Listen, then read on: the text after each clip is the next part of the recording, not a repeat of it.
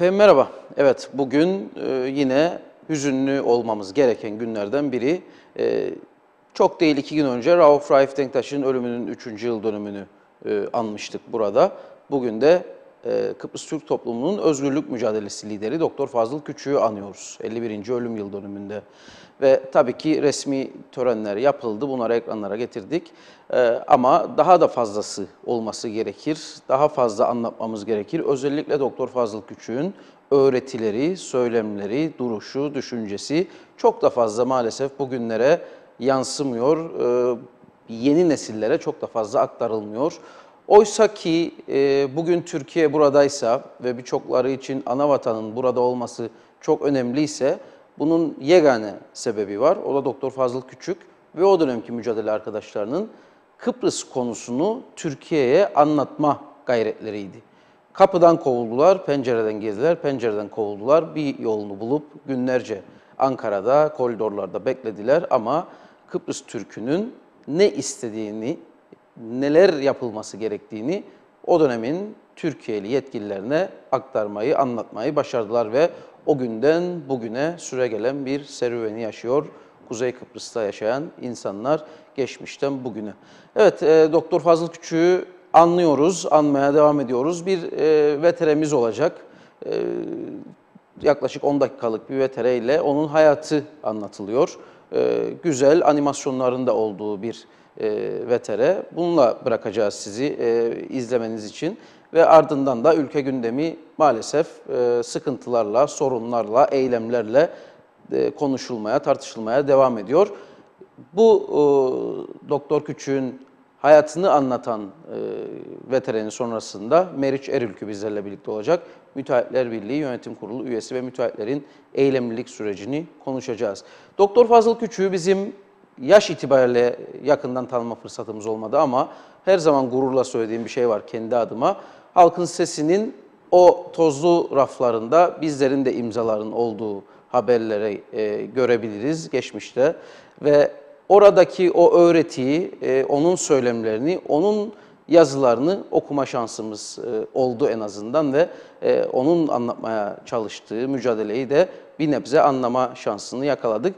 Anlayamayanlar için diyelim o zaman bir onun hayatını tekrar e, ekranlara getirelim, bir görelim, gösterelim. Sonrasında da yine her zaman olduğu gibi ülkedeki gündemi konuşup tartışmaya devam edelim.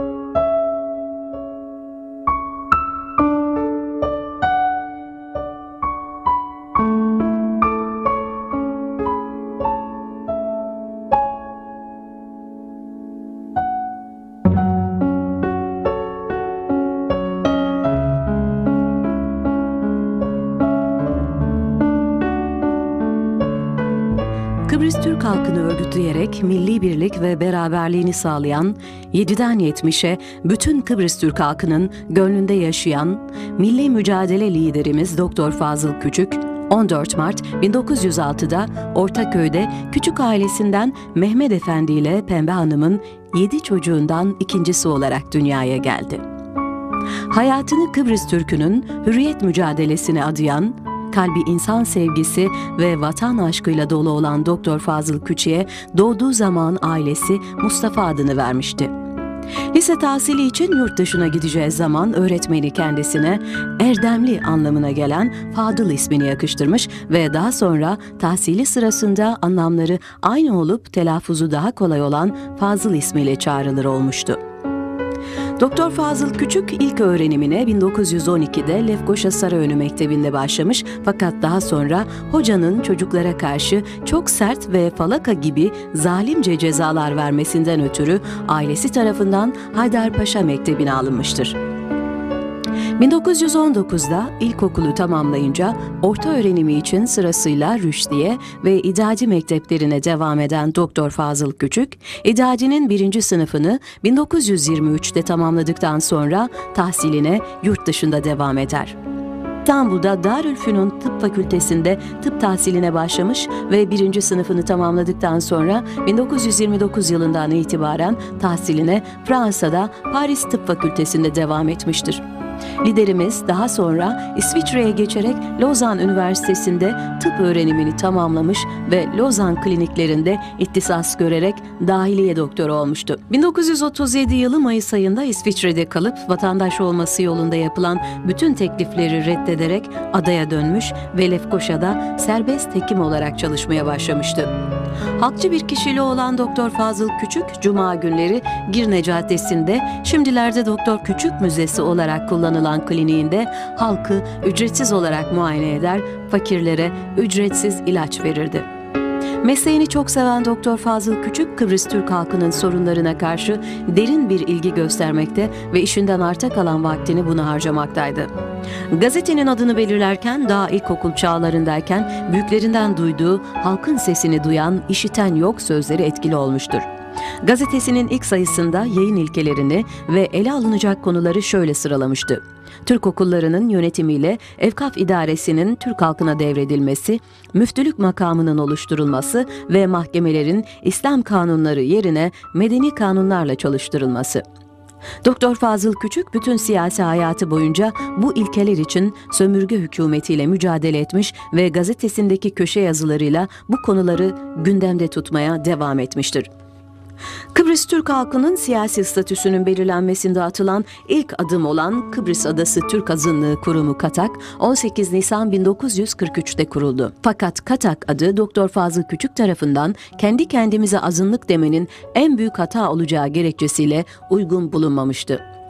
Doktor Fazıl Küçük 23 Nisan 1944'te Türk halkının mücadelesini daha etkin bir şekilde sürdürmek amacıyla Kıbrıs Türk halkının milli karakterli bir siyasi partisi olan Kıbrıs Milli Türk Halk Partisi'ni kurdu. Doktor Fazıl Küçük, Ekim 1946'da evlendiği eşi Süheyla Hanım'la mutlu bir evlilik gerçekleştirmiş, Mehmet ve Pembe isimlerinde iki çocukları olmuştur. Doktor Fazıl Küçük daha sonra iktisadi kalkınmada önemli bir rol oynayacak olan Evkaf İdaresi'nin Türk halkına devredilmesini sağlamak amacıyla 29 Kasım 1948 tarihinde bütün kasaba ve köylerden gelen halkın katıldığı büyük bir miting düzenledi. Bu muazzam mitingde polislerle küçük bir çatışma oldu ve bunun neticesi olarak İngiliz sömürge hükümeti Türk halkının kendi meselelerine müdahale edilmesine artık izin vermemeye azimli olduğunu anladı. Doktor Küçük'ün gayretleri işte bu noktadan sonra sonuç vermeye başladı. Bunlar şeriye mahkemeleri kaldırılarak yerine Türk aile mahkemeleri kuruldu. Yeni aile kanunu 31 Ocak 1951'de kabul edilerek resmi gazetede yayınlandı. İngiliz sömürge hükümeti Türk tali okullarını ve Evkap'ı Türk halkına devretti. 1955 yılı Eylül ayında gizlice Volkan Teşkilatı'nı kurdu. Liderimiz 1957-1958 yılında Türk Mukavemet Teşkilatı'nın kurulması için Türkiye'den destek istedi. Bunun üzerine özel harp dairesine bağlı kuruluştan Kıbrıs'a silah ve askerler gönderilmesini sağladı. Ağrı onun kod adı oldu. Türk Mukavemet Teşkilatı'nda zirvede görev yaptı. Doktor Fazıl Küçük, Zürih'te Türk ve Yunan Dışişleri Bakanları arasında varılan anlaşma üzerine 17 Şubat 1959'da Londra'da yapılan konferansta Kıbrıs Türk halkını temsil etti ve iki gün sonra varılan anlaşmayı halka adına imzaladı. Kıbrıs Cumhuriyeti kuruluş anlaşmalarına göre Cumhurbaşkanı Rum olurken Cumhurbaşkanı muavini ise Türk olacaktı. Kıbrıs Türk halkı onu bir kurtarıcı olarak gördüğünden 3 Aralık 1959'da Kıbrıs'ın ilk Cumhurbaşkan muavini seçti. 21 Aralık 1963 Kanlı Noel'inde on binlerce Türk birkaç gün içerisinde göçmen durumuna düşmüştü. Halkın daha güvenli yerlere nakli sağlanmıştı.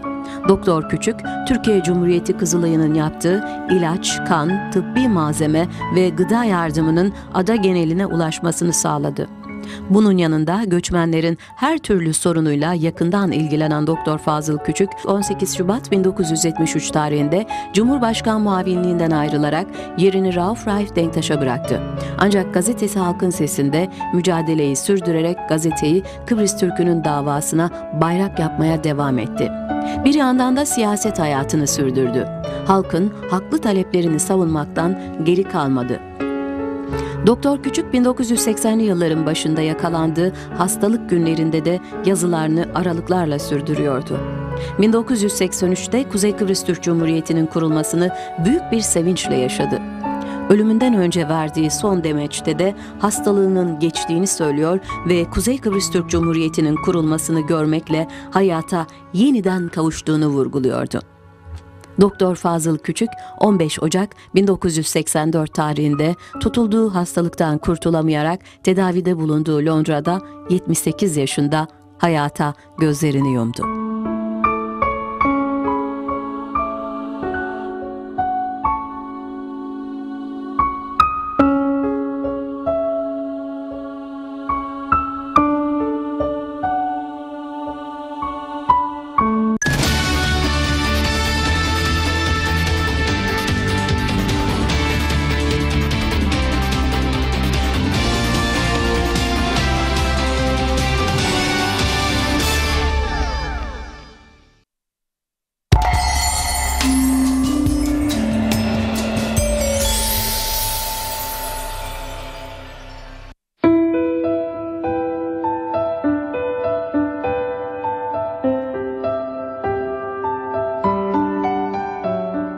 Yaşamak bu kadar zor değil. Hayatı iyi veya kötü yapan sizsiniz.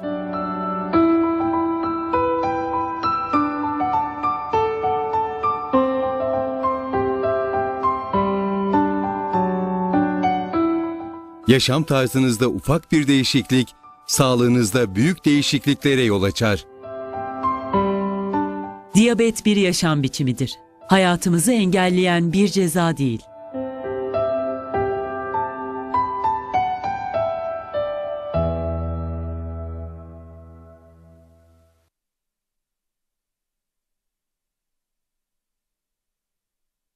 Diyalog gazetesi gündem yaratan haberleri ve köşe yazılarıyla her gün bayinizde.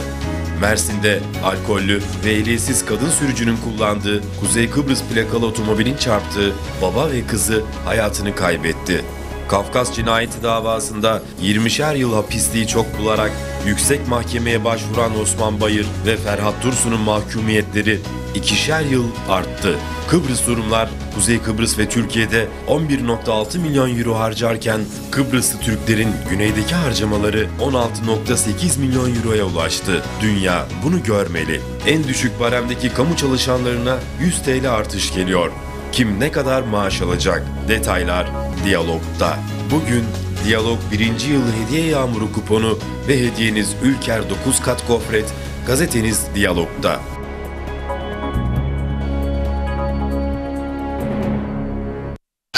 Herkesin bir takıntısı var. Belki inanmayacaksınız ama benim takıntım klozet temizliği. Klozetteki şu kanallar var ya.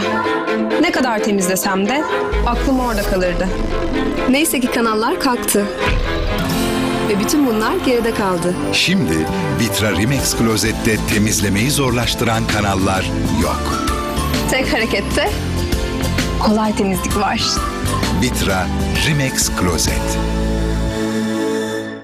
Diyalog TV yayınları Kıbrıs Diyalog TV uygulamasıyla artık iPhone ve iPad'lerinizde. Nerede olursanız olun gündemi, haberi ve yayınlarımızı kesintisiz ve kaliteli olarak Kıbrıs Diyalog TV Apple uygulamasıyla takip edin. Kıbrıs Diyalog TV uygulaması Apple Store'larda. Kullanmaya hemen başlayın. Dişlerinizi fırçalarken sizin de böyle oluyor mu? Peki böyle olsaydı hemen önlem almaz mıydınız? O zaman diş eti bakımınızı da ihmal etmeyin. Parodontax diş macunu Malkron teknolojisiyle diş eti bakımınıza yardımcı olur. Unutmayın, diş eti bakımınıza dikkat etmemek diş kaybına sebep olabilir. Parodontax şimdi yeni ferahlık seçeneğiyle.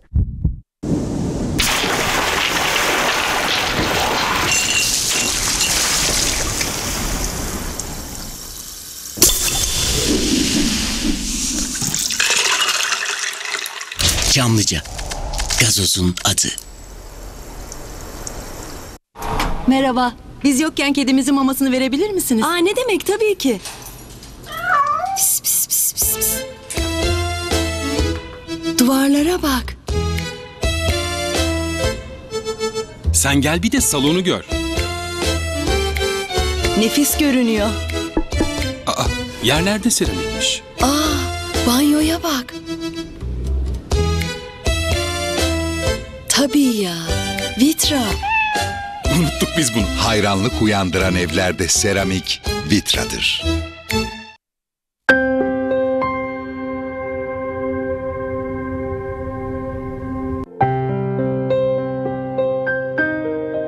Diyalog Medya Grubu olarak mutlu günlerinizde sevinçlerinizi paylaştığımız gibi acılı günlerinizde üzüntülerinizi paylaşmak için yanınızdayız. Vefat ilanlarınızı Diyalog gazetesi ve televizyonunda ücretsiz yayınlamanız için vefat ilan servisimizi 0533 853 5410 444 4449 numaralarından arayabilirsiniz. Diyalog Medya Grubu hayatın her anında yanınızda.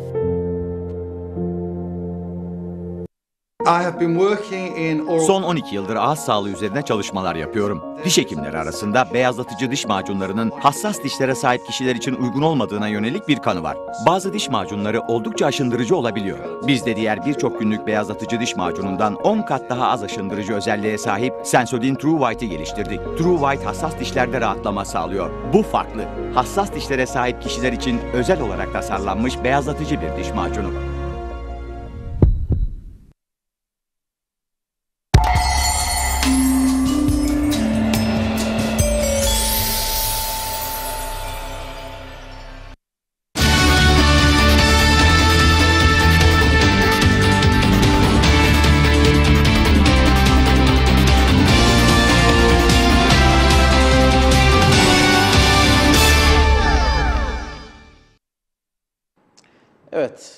Bölüme başlıyoruz. Az önce ifade etmiştim. Bugün konuşacağımız konu müteahhitlerin e, yaşadığı sıkıntılar. Çok değil, bundan birkaç hafta önce e, başkanı burada ağırlamıştık. Müteahhitler Birliği Başkanı ve bir takım sıkıntılar orada da dile getirilmiş.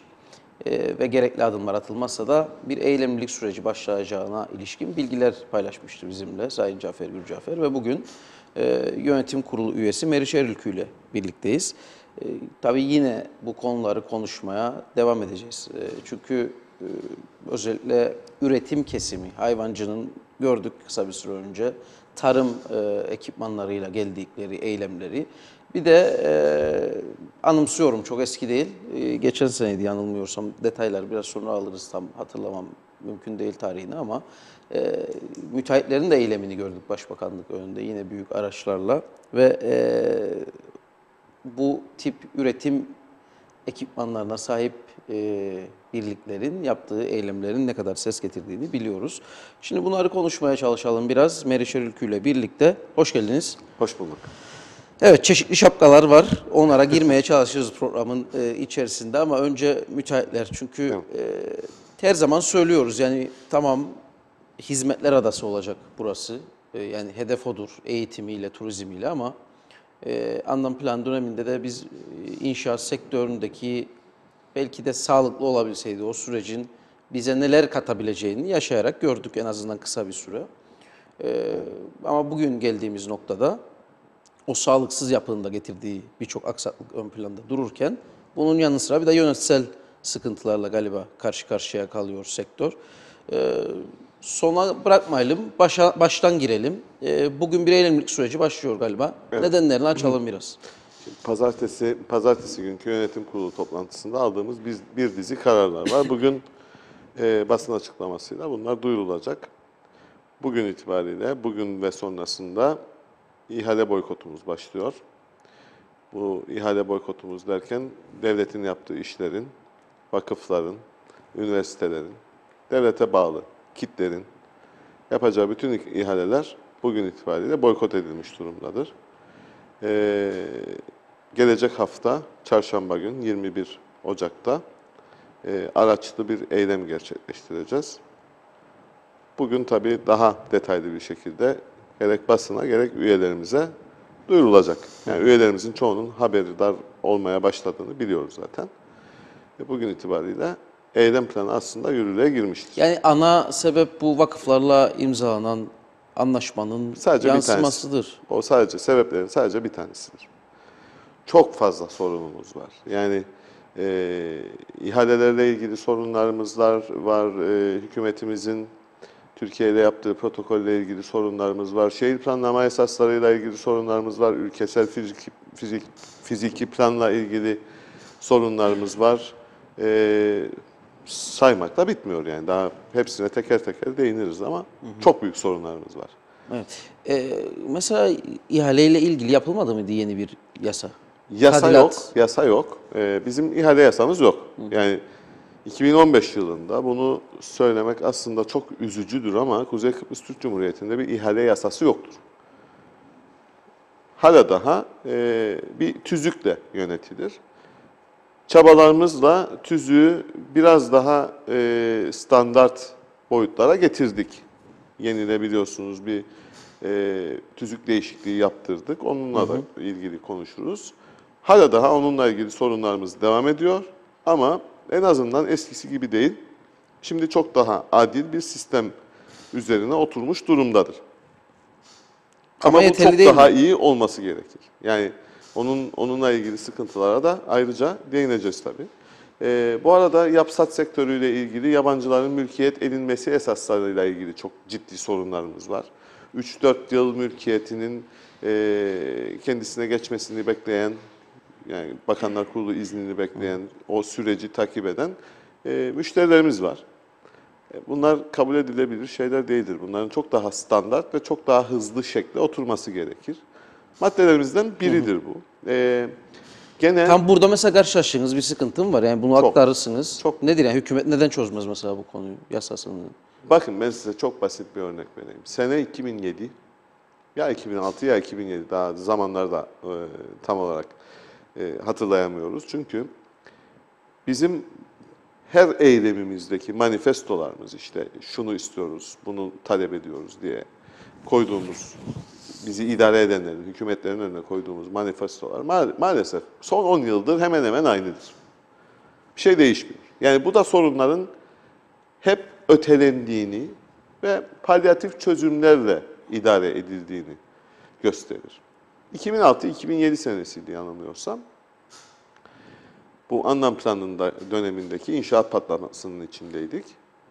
Biz müteahhitlerimizin düzene girmesi, finansmana daha kolay erişebilmeleri, alıcıların daha kolay kredi bulması, müteahhitlerin projelerinin kredilendirilebilmesi, aynı zamanda da yapılan projelerin bu e, süzgeçten geçerek feasible olması, ekonomik akla uygun olması ve aynı zamanda bankalar ve finansal kuruluşlar tarafından denetlendiği için şirketlerimizi disiplinize etmesi açısından bir öneri getirdik. Dedik ki biz kat irtifak yasası istiyoruz. Evet. Kat irtifak yasası nedir? Ee, proje aşamasında yapacağınız örneğin bir apartman projesinin her bir dairesinin tapularının proje aşamasında bölünüp ipotek verilebilecek, satılabilecek duruma getirilmesidir.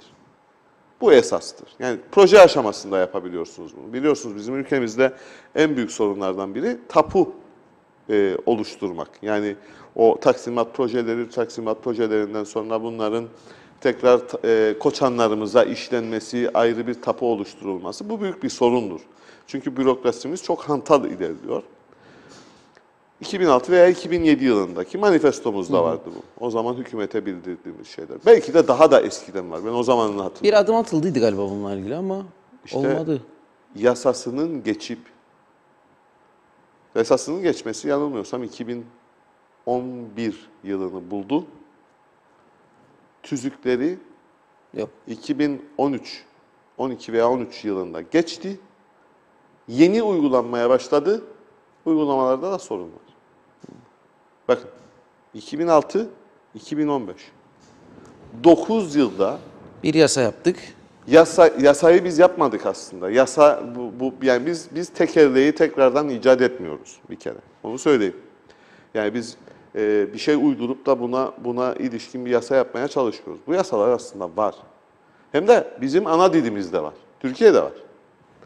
Yani dünyanın her yerinde var ama Türkiye'de var. Kalkıp bunu kalkıp bunu tercüme etmeye gerek gerek duyduğumuz bir durum da yok. İşte yan- yanlış tercüme olduydu veyahut da işte biz burada ne demek istediğini anlamadık diye bir şey yok Türkçe. Bu yasaları biz aldık. Ülke şartlarımıza uyarladık.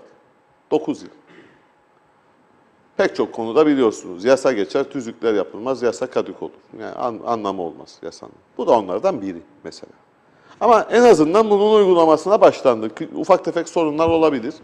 O sorunlar da inşallah e, aşılacak diye ümit ediyoruz. Tabii bu bizim eylem planımızın içinde de var.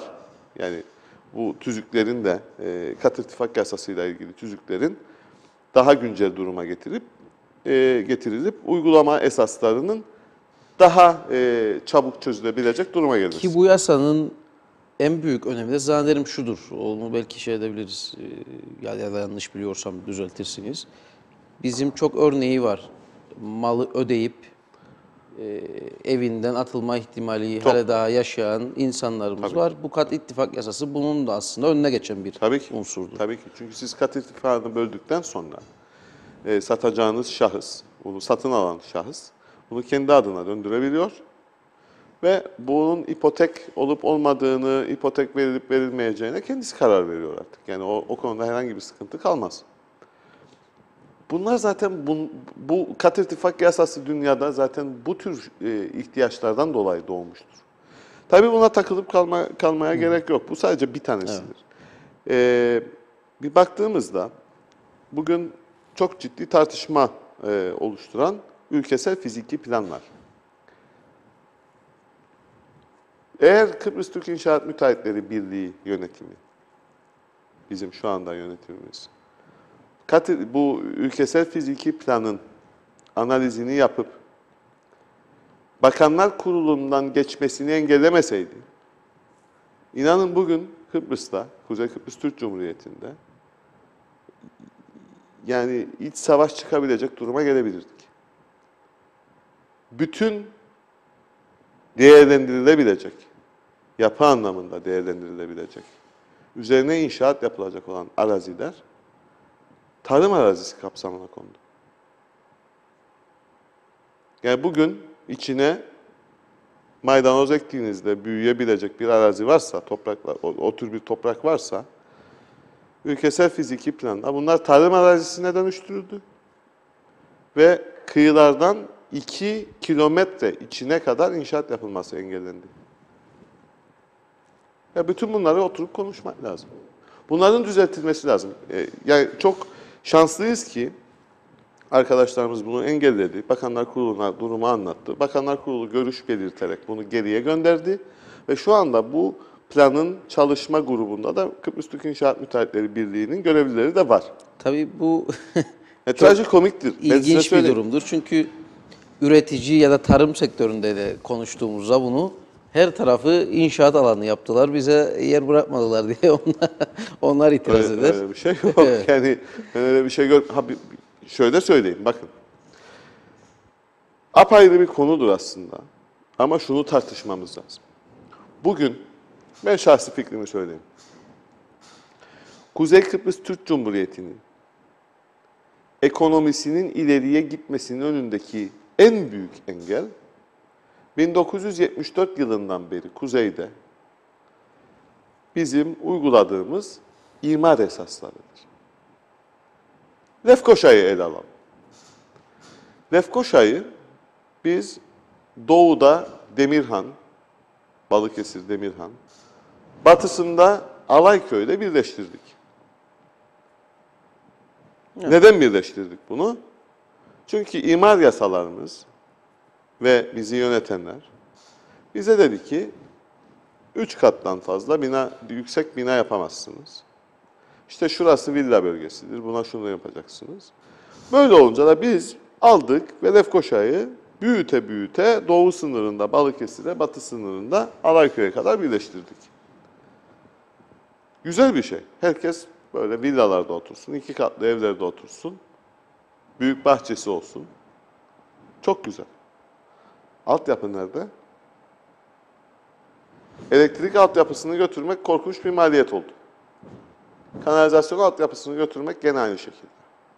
Su altyapısını götürmek gene aynı. Bütün bunları yaptık. Biraz rahatımıza düşkünüz diyelim. Çevreyi de koruduk. Nasıl koruduysak anlamadım. Yayılarak çevre koru- korunmaz. Yani ben buna tamamen istediğiniz herkesle bunu tartışırım. Yayılmacılıkla çevreyi koruyamazsınız. Bilakis mah mahvedersiniz. Çünkü beton yaparsınız her tarafı.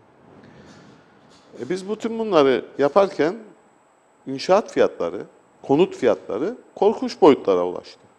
Kimse konut alamaz olduydu bir dönem Lefkoşa'da. Hala daha pahalıdır ama bir dönem konut alamaz duruma geldiydi insanlar. Çünkü inşaat maliyetleri inanılmaz derecede yüksekti. Altyapıyı götüremedik.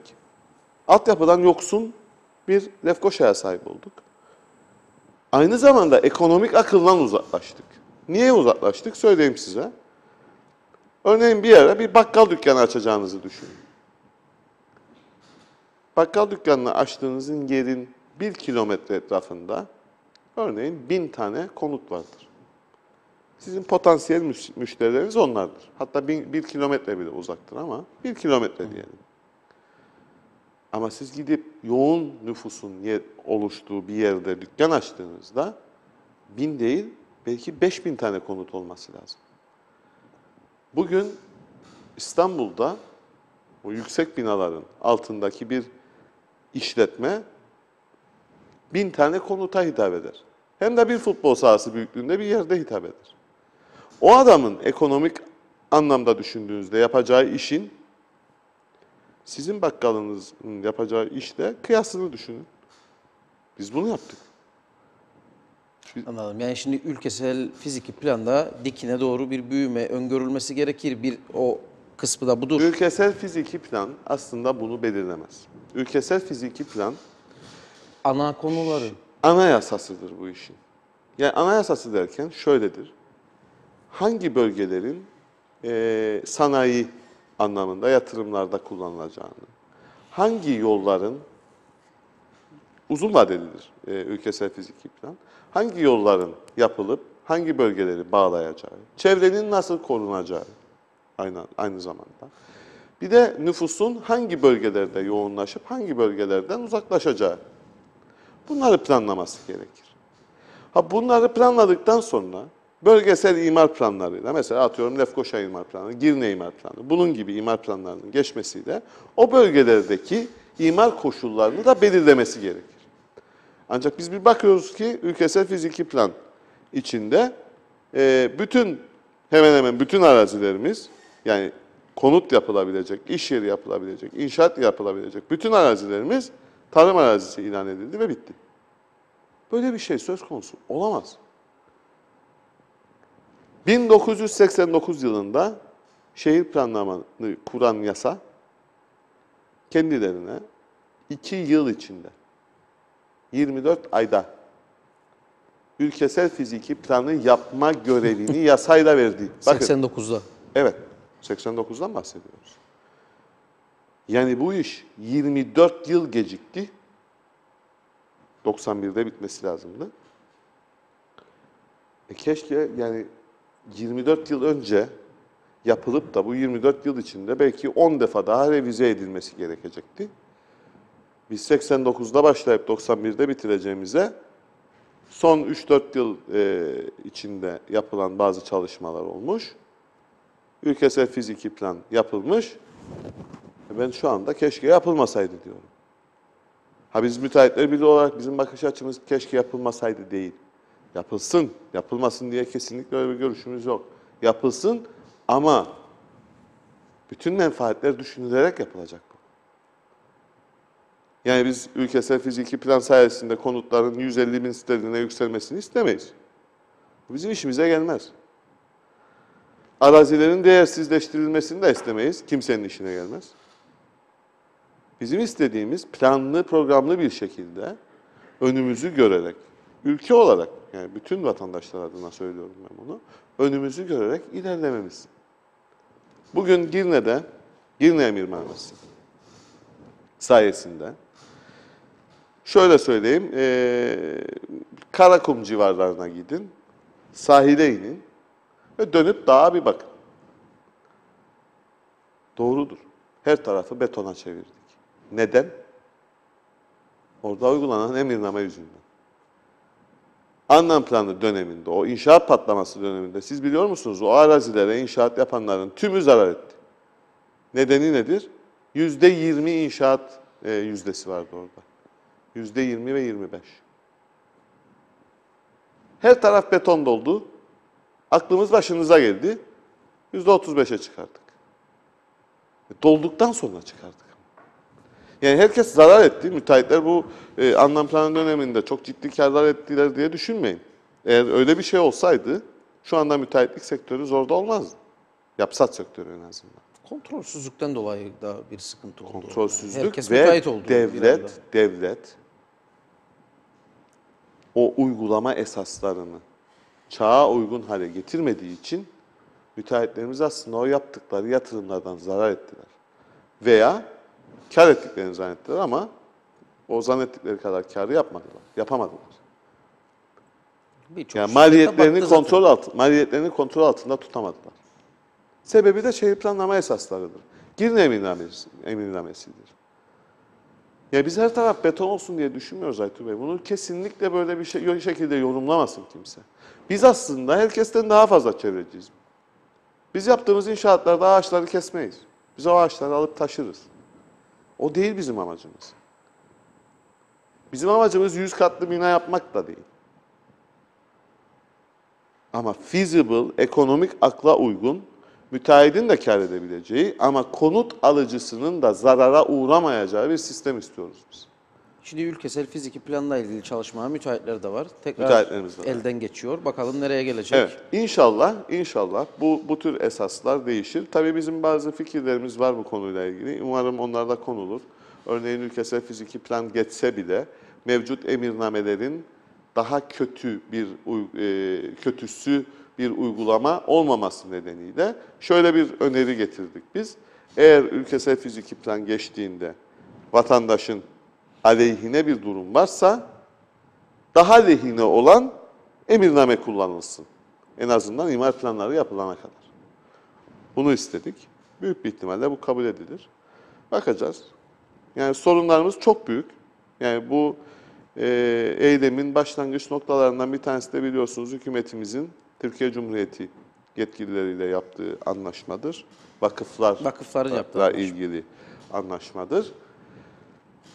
Biz burada e, bakış açımız Türkiye Cumhuriyeti'nin aleyhine değil. Türkiye Cumhuriyeti ile ilgili bir sorunumuz yok. Bizim sorunumuz bu protokolün altına imza koyan bizim yetkililerimizdir. Bu protokolü tabii söylemek lazım. Bu protokol e, vakıfların e, binalarının restorasyonuyla ilgili Evet. e, yapılacak olan işlerin Türkiye'li müteahhitler tarafından yapılacak olması. Evet, tümünün Türkiye'de ihale edilmesi ve buradaki müteahhitlerimize herhangi bir şans tanınmaması. Ee, buraya gelinen süreçte de e, belki size komik gelecek ama ülkemizin şartları, ülkemizin gerçeği budur. Bizim yetkililerimiz Türkiye Cumhuriyeti'nden gelen yetkililere bizim müteahhitlerimiz bu işi zaten beceremez deyip de bu protokolü yaptılar. Halbuki restorasyon işlerinde dünyaca ünlü projeleri yapan bizim müteahhitlerimizdir. Otello Kalesi, Büyük anlamda. Apostolos Andreas, Büyükhan, kiliseler, bir sürü kilise.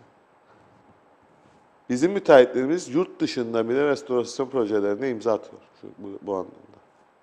Ama bizim yetkililerimiz bizim müteahhitlerimizi bu konuda beceriksizlikle suçlayabiliyor.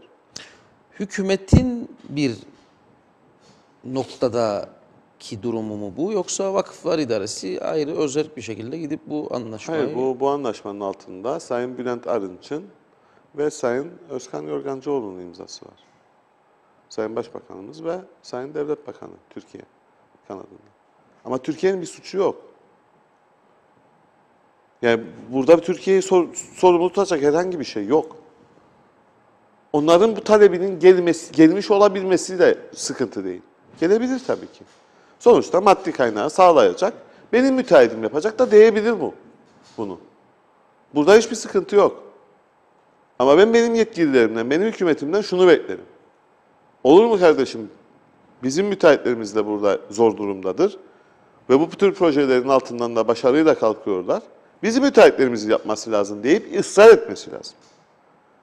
Onu Hiç yapacağına... kötü ihtimal bir konsorsiyum olabilir. Evet, o, yani pek çok yolu var bu, bu tür şeylerin. Pek çok e, metodu var. Onu yapacağına, bunu yapacağına benim hükümetimin yetkilileri, benim yetkililerim şunu söylüyor. Diyor ki, haklısınız efendim, zaten bizim müteahhitlerimiz bu işi yapamaz. Ya bu, bu mentalite dünyanın hiçbir yerinde görülmüş değil. Bizim isyanımız onadır. Görüştünüz değil mi Başbakan'dan? Ya bu konuda defalarca görüşüldü, defalarca mesaj teatisi oldu ama biz bu protokolün iptalini ve revize edilmesini istiyoruz. 21'inde eylemdeyiz. Ha bir şey daha söyleyeyim. Bizim makinalarımız traktörlerden büyüktür. Bizde süt de yok, bizde beton var. Ama biz orada şimdi sütle yıkandık bir de betondan dik, dikkatin kalmayalım betonun altında. Sütte bir şey olmaz. Betonda olabilir. Biz makineler de biraz büyüktür. Yani traktörlerden daha iridirler.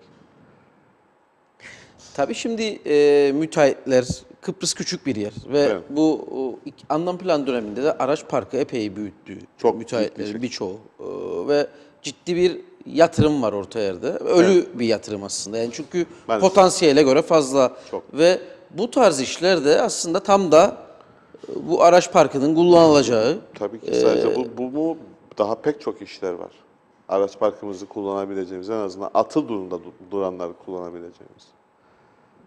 Ama maalesef bizim hükümetimiz bizim yanımızda değil. mantığını anlayamıyorum şeyin. Yani Ya şöyle söyleyeyim. çözmeye yani çalışıyor Türkiye, Türkiye. Cumhuriyeti'nin, Türkiye Cumhuriyeti Devleti'nin Kıbrıs'taki 3-5 kuruşluk işler konusunda kendi müteahhidine, e, kendi müteahhidi anlamında ısrar edeceğini düşünmüyorum. Ya buradaki işlerin büyüklüğü çok küçüktür. Çok e, e, dişe dokunur miktarlarda işler yok burada. Yani bizim hükümetimiz, bizim yetkililerimiz ısrar etmesi durumunda Türkiye'nin bu anlamda hiçbir şekilde e, tavizden kaçınacağını düşünmüyorum. Onlar böyle şeylerle uğraşmazlar. Ama biz istemiyoruz. Yani tabii ki Türkiye'de çıkan Yani ihalelerin bir- büyüklükleri düşünüldüğünde Ya Türkiye'de, bakın biz Türkiye Müteahhitler Birliği ile bir protokol imzalama aşamasına kadar geldik. 231 tane üyeleri var. Bu 231 üyenin en küçüğü Kuzey Kıbrıs Türk Cumhuriyeti'nde yapılan işlerin toplamından fazla iş yapar. Toplamından fazla, en küçüğü. Yani Türkiye Cumhuriyeti'nde ihale edilmesi veya Kıbrıs'ta ihale edilmesi, Kıbrıslı müteahhitlerin katılması, Kıbrıslı müteahhitlerin konsorsiyumların parçası olması Türkiye'yi rahatsız edecek bir şey değil bunlar. Artı bizim kendi kendi evimizi düzeltmemiz lazım. Bugün bizim 1898 ve 1998 sayılı iki tane yasamız var. Bu iki yasamız bizi makine parkı yatırımı yapmaya zorlar. Zorlar yani. Biz kendi elimizle kendi müteahhitimizi batırırız. Bunları düzeltmemiz lazım. Bunlarla ilgili de ne çalışmalarımız için belli e, araçların olması gerektiğini dikte eder Evet, yasa. evet, evet. Belediye araçların değil de belirli, belirli bir makine parkı yatırımının olması lazım. Bakın ben, ben size bir örnek vereyim. Türkiye'de benim tanıdığım müteahhitler var. Yurt dışında 200-300 milyon euroluk, euro, 200-300 milyon dolarlık ihaleler alırlar. Bu müteahhitlerimizin bindiği arabadan başka araç parkı yoktur. Hiç böyle bir zorunluluk yok Türkiye'de. Onlar Gidip var. çalışırlar. Araç parkı açısından zengin taşeronlar var. Çünkü e, taşeron ve müteahhit olayı farklıdır. Evet. Müteahhit işi sev ve idare eder. Müteahhit dönüp de işi kendi yapsın diye müteahhit olmaz. Aslında müteahhitlik sanatı budur. Ama biz Kıbrıs'ta müteahhitlerimizi taşeron konumuna sokacak yasalar yaptık daha önce. Şu anda bu yaşadığımız sıkıntıların bir kısmı da bu anlamdan kaynaklanır. Öbür tarafta dönüyorsunuz, ihale konusuna geliyorsunuz. Yani bir ihale yasasının olmaması 2015 yılında. Düşünün. 1974'ten 2015'e 41 yıl geçti. 41 yıl biz bir ihale yasası yapamadık. Fenli İşler Tüzüğü adı altında bir tüzükle götürüyoruz bu işi. Bu ihale yasası hazır, yok meclise geldiydi, genel kurula iniyordu, komisyondan geçtiydi falan filan. Bizim kaybettiğimiz bu yılların e, bedelini kim ödeyecek? Bugüne kadar bedel ödendi mi bir şey Ödeniyor değil. tabii ki. Hayır yani yöntemler açısından Yok, bedel hiç ödendiğini kimse ödemiyor. görmedik galiba. Bakın ben size şöyle söyleyeyim. İhale çıkıyor. Örneğin şöyle yani yeri ve diğer bina bilgisini e, ona takılıp kalmadım. Atıyorum. Gemi konağı, gemi konağı bölgesinde 120 metrekarelik bir adet bina. İhalenin metrajı bu. Şimdi alıyorsunuz ihalenin şartnamesini, projeyi alıyorsunuz. İhale şu ama, bir adet 120 metrekarelik bina. Şartnameyi alıyorsunuz, dönüp projeyi alıyorsunuz. Sonra dönüp öğreniyorsunuz içeriden. O bilgiye ulaşıyorsunuz. Bu ihalenin bir blokesi oluyor. Örneğin atıyorum 100 bin TL. 100 bin TL blokesi alınmış. Demek ki keşif bedeli 100 bin lira. Şimdi 101 bin verseniz veya 100 bin 1 TL verseniz zaten keşif bedelinin üzerinde olduğunuz için ihaleden eleneceksiniz. Geçersiz teklif. Dönüyor bizim müteahhitlerimiz kendi metrajlarını kendileri çıkarmaya çalışıyor. Birim fiyatlarla tutmuyor hiçbir şey. Yüzde 30, yüzde 40 kırımlarla müteahhitlerimiz iş yapabilme uğruna ihale alıyordu daha önce. Maliyetinin altına, çok daha altına. Bu yüzden müteahhitlerimizin çok zarar edip e, projelerde e, başarısız oldukları çok olmuştur. Biz gidip bunu Ama leştirdik. ek, ek projeler falan da yapılır falan. O bir işin Bakın bir işte başka şeyler e, yok mu? ya affedersiniz ama eşeği kaybet, kaybettirip sonra bulduğunda sev, sevinmesini sağlamak yani bu da Ya bu artık ek- bu ek çağın böyle şeyi olur. değil. Çoğu Genelde. böyle oluyor. Çoğu böyle oluyor. Yani bakın Yani şu bu noktada müteahhitler de eleştirilir o yüzden söyleyeyim. Ya adam Tabii en düşük kolay verir, olan o. uzisi düşük verir der. Ondan sonra bağlarlar işi bakandan.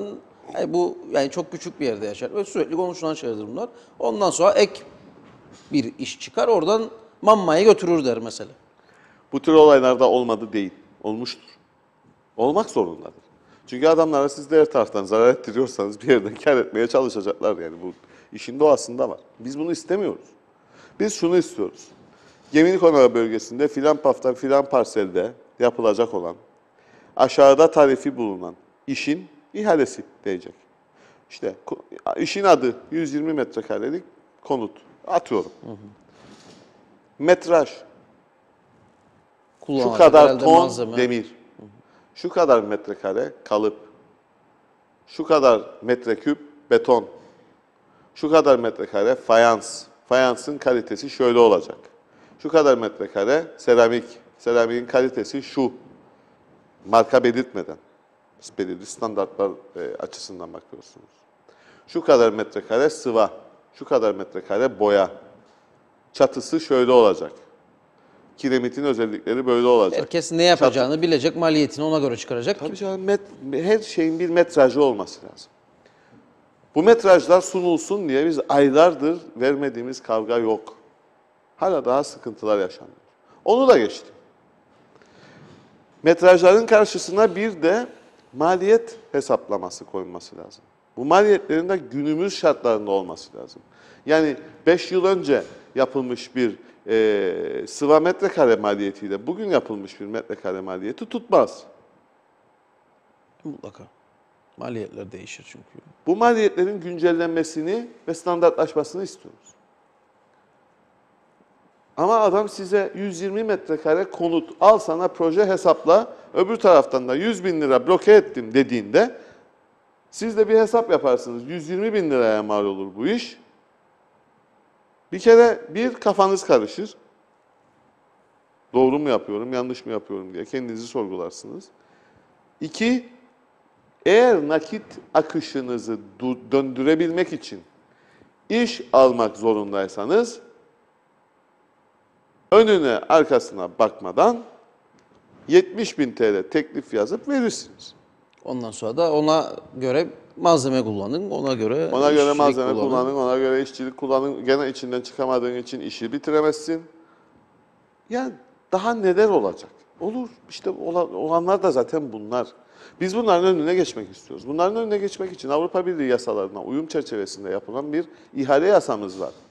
Daha ne kadar mecliste bekleyecek ben onu anlamış değilim. Yani yıllardır komisyona gittiydi, genel kurula geliyordu, bakanlar kurulu onayladıydı derken şu anda nerede olduğunu da bilmem herhalde genel kurula girecek olan yasaların listesinin içindedir.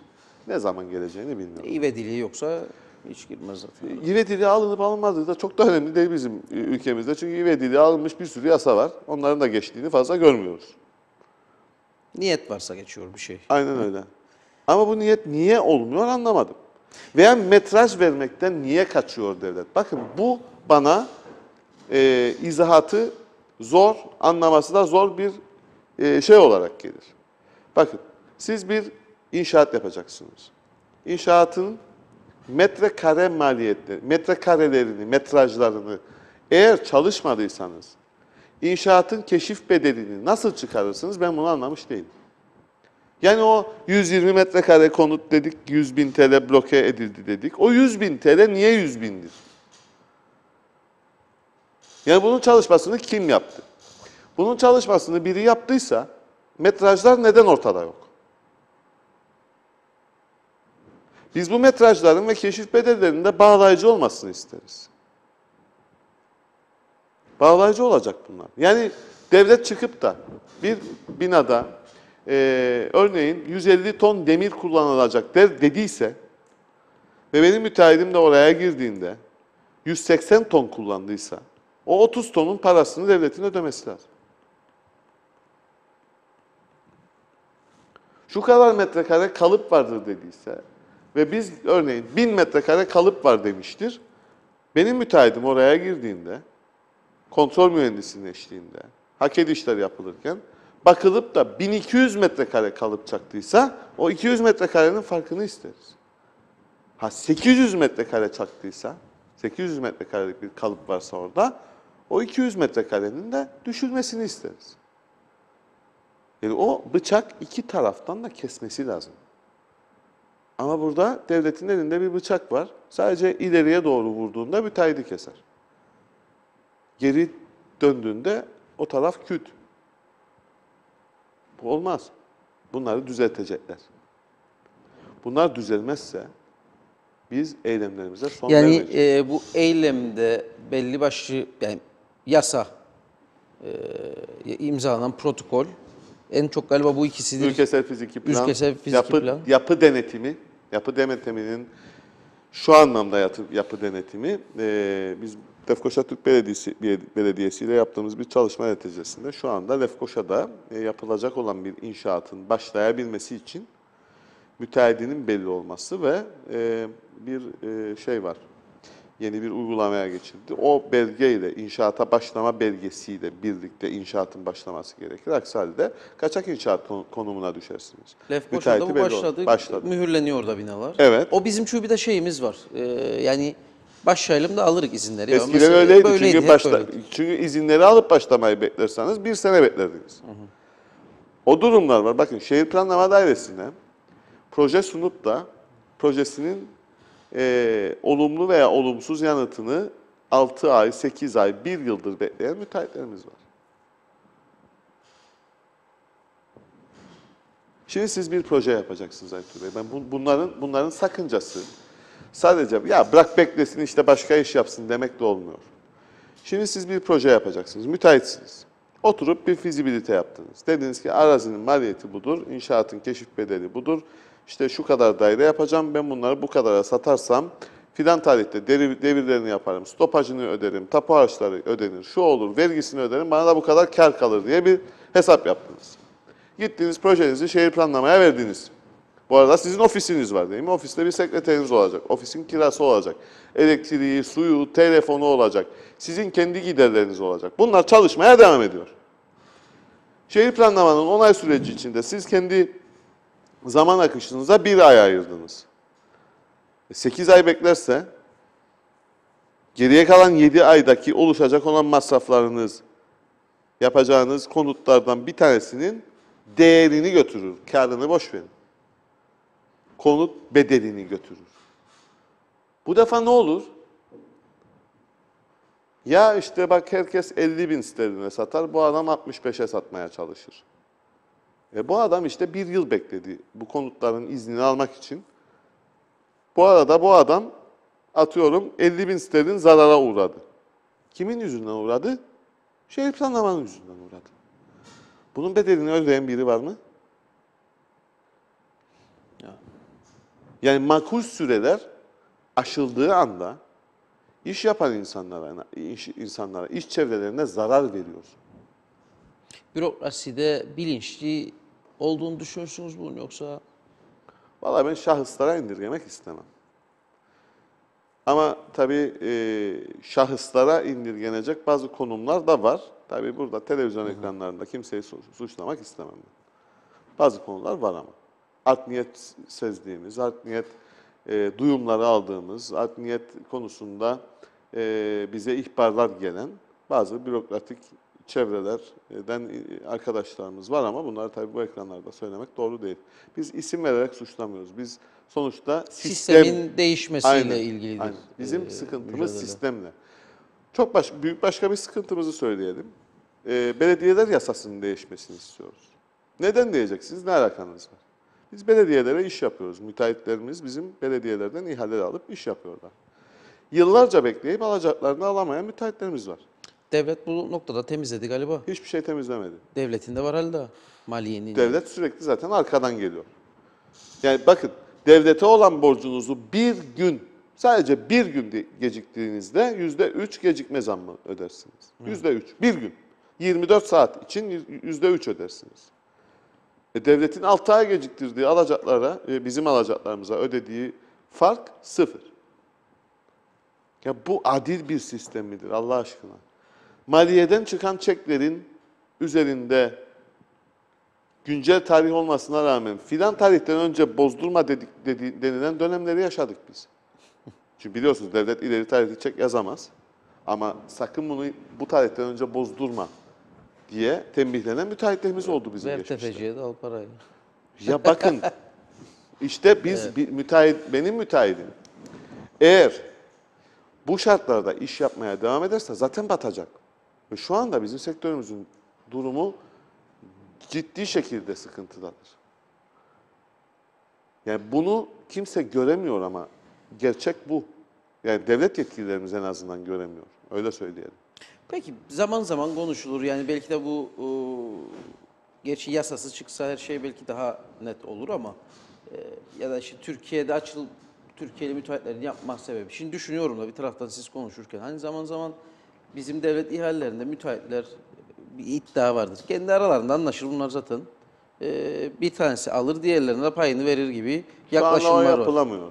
Şu Yoktur. anda şu anda o yap- yapılamıyor. Niye yapılamıyor? Bizim şey eğer bütün suç müteahhitlerde olsaydı, müteahhitleri tes- temsilen İnşaat Müteahhitleri Birliği'nin bu tüzük çalışmasını yapmaması lazımdı. Bizim sayemizde geçen bir tüzük oldu. Hatta şunu da hatırlatayım şunu. Bu tüzük nasıl değişti biliyor musunuz? İhale boykotu yaptık biz bu tüzük değişsin diye.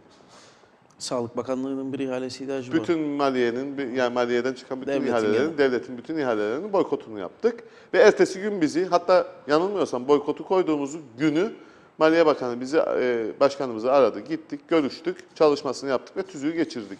Şu anki tüzükte anlaşamazsınız. Neden anlaşamazsınız? Fiyat tek kıstas değildir. Fiyatın ortalaması önemlidir. Fiyat, ortalama fiyatın ne kadar altında olduğunuz veya ne kadar üstünde olduğunuz da önemlidir.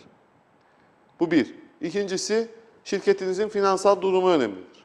Üç, elinizde iş olup olmadığı önemlidir. Bütün bunlar puanlanır. Teknik yeterliliğiniz, her şey. puanlanır. Araç parkınız. Her kısım için bir puan vardır. Bunların tümü puanlanır. Ortalaması. En yüksek puanı alan müteahhit alır.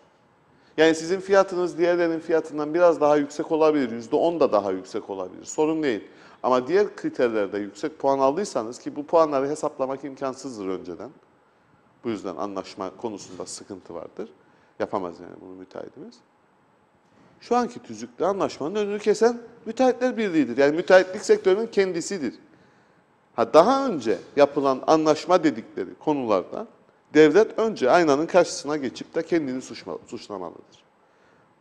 Neden derseniz, eğer siz kendi elinizle müteahhide o de, demin örnek verdiğimiz bir adet 120 metrekare konut, 100 bin lira da ke- keşif bedeli var. Hadi sen çık içinden de teklif ver. Ve bu şekilde de zarar et diye siz bu sistemi böyle koyarsanız müteahhidin önüne, o müteahhidin de dönüp anlaşıp bir şekilde o zarardan kurtulmaya ve en az zararla e, bu işin içinden çıkmaya çalışırdı. Şimdi bunu değiştirdik. En düşük teklif kavramı var şimdi. Yani ortalamanın çok altında teklif verdiğinizde eleniyorsunuz. Yani en düşük fiyatı vereyim ki o da %25 keşif bedelinin %25 altıyla sınırlandırılmıştır. Ben %24.9 altına vereyim bende kalır. İhale diye bir şey yoktur artık. Evet. Anladım. Şimdi bir konu daha onu Buyurun. özellikle söyleyelim. Son çünkü 5 dakikamız Tamam, kaldı. demin açtıydık bunu. Belediyeler yasasıyla ilgili çok büyük sıkıntımız var. Bugün belediyelerden çok ciddi alacağı olan müteahhitlerimiz var. Ama bu müteahhitlerimiz mahkemede dava açıp kazanmış olmalarına rağmen belediyelerin belediyelere icra yoluyla takip başlatamıyorlar. Çünkü yasa diyor ki belediyelerin malları, gelir getiren kaynakları haciz edilemez. Yani bir makam arabasını alabilirsiniz. Belki o da mahkeme izin verirse. Başka da hiçbir şeye haciz getiremezsiniz.